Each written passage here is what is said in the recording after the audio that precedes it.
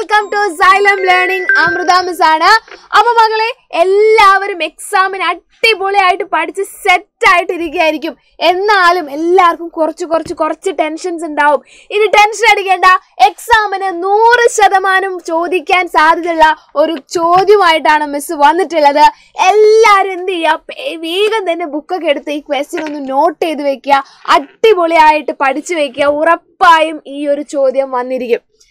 Ready അപ്പൊ ഏതാ question നോക്കിയാലോ നമുക്ക്? ഏതാ ക്വസ്റ്റ്യൻ എന്ന് വേഗം നോക്കാം. ഇതാണ് നമ്മളുടെ ക്വസ്റ്റ്യൻ മകളെ ഇവിടെ നിങ്ങൾക്ക് കാണാൻ പറ്റുന്നുണ്ട് one equal to one one plus three equal to four one plus three plus five equal to nine കുത്തു കുത്തു കുത്തു കുത്ത് കുത്തു കുത്തു കുത്തു കുത്ത്. ഇതാണ് ക്വസ്റ്റ്യൻ ഉറപ്പിച്ച മക്കളെ ഈ ഒരു ഭാഗത്ത് നിന്ന് ഇങ്ങനെയുള്ള ഒരു ചോദ്യം ഉറപ്പായും നിങ്ങൾക്ക് ക്വസ്റ്റ്യൻ പേപ്പറിൽ കാണാൻ വേണ്ടി പറ്റും. അപ്പൊ ക്വസ്റ്റ്യൻ ഇതാണ് ഒന്ന് ഈക്വൽ ടു ഒന്ന് ഒന്ന് പ്ലസ് മൂന്ന് ഈക്വൽ ടു നാല്. ഒന്ന് പ്ലസ് മൂന്ന് പ്ലസ് അഞ്ച് ഈക്വൽ ടു ഒൻപത്. ഇങ്ങനെയുള്ള write the next two lines അടുത്ത രണ്ട് വരികൾ എഴുതുക. എന്ന് പറഞ്ഞു കഴിഞ്ഞാൽ എന്റെ കുഞ്ഞുമക്കൾ എന്ത് ചെയ്യണം? വേറെ ഒന്നും ചിന്തിക്കരുത്. വേഗം തന്നെ അടുത്ത രണ്ട് വരികൾ എഴുതണം. ഇവിടെ നോക്കുക. വൺ അടുത്തതിൽ രണ്ട് നമ്പറുകൾ അടുത്തതിൽ മൂന്ന് നമ്പറുകൾ അപ്പൊ അടുത്ത വരിയിൽ എത്ര ഉണ്ടാവും നാല് നമ്പറുകൾ വരണം. അല്ലേ? ഒരു നമ്പർ രണ്ട് നമ്പർ മൂന്ന് നമ്പർ. അടുത്തതിൽ നാല് നമ്പറുകൾ വേണം. അല്ലേ? നാല് നമ്പറുകൾ വേണം. ഇനിയോ ഇവിടെ ഒന്ന് മൂന്ന് അഞ്ച്. അടുത്തത് എന്തായിരിക്കും? ഒന്ന് മൂന്ന് അഞ്ച് ഏഴ്. നാല് ഒറ്റ സംഖ്യകൾ നാല് odd numbers four odd numbers ആണ് അടുത്ത ലൈൻ എന്ന് പറയുന്നത്. ഇനി ഇവിടെ നോക്കിയേ. അതിന് അത് കൂട്ടിയാൽ എത്ര വരും? അത് ആഡ് ചെയ്താൽ എത്ര വരും?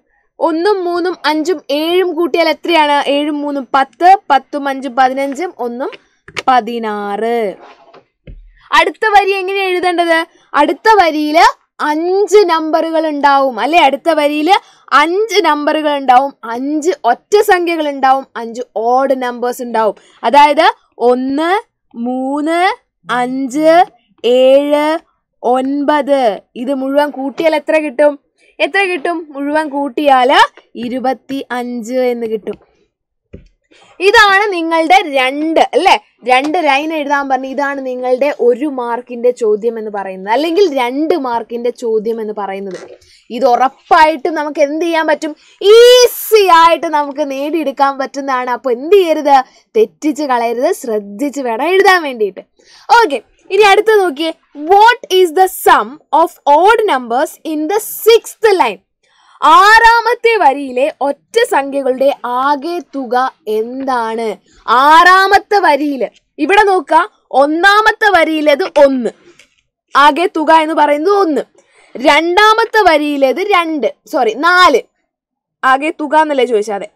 മൂന്നാമത്തെ വരിയിലേത് ഒൻപത്. ശരിയല്ലേ? അതായത് ഒന്നാമത്തെ വരിയിൽ എന്ന് പറയുന്നത് ഒന്ന് ഇന്റു ഒന്ന്. രണ്ടാമത്തെ വരി എന്ന് പറയുന്നത് രണ്ട് ഇന്റു രണ്ട്.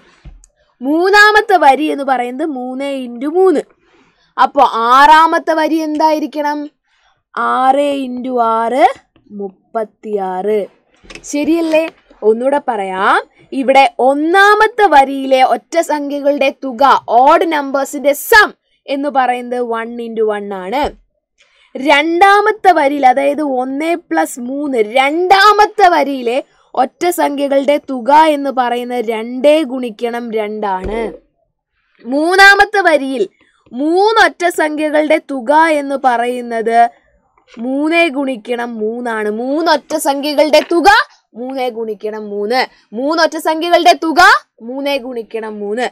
നാലൊറ്റ സംഖ്യകളുടെ തുക എന്താണ്? നാല് ഓഡ് നമ്പേഴ്സിന്റെ സം എന്ന് പറയുന്നത് വേറെ ഒന്നുമല്ല നാലേ ഗുണിക്കണം നാല്.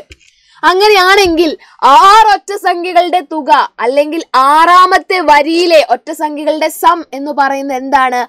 ആറ് ഒറ്റ സംഖ്യകളുടെ തുകയാണ്. തുകയല്ലേ? തുകയാണ്. സമ്മാണ് അതെന്താണ്? സിക്സ് ഇന്റു സിക്സ് ആറ് ഗുണിക്കണം ആറ് മുപ്പത്തിയാറ്. എളുപ്പത്തിൽ ചെയ്ത് കിട്ടിയില്ലേ?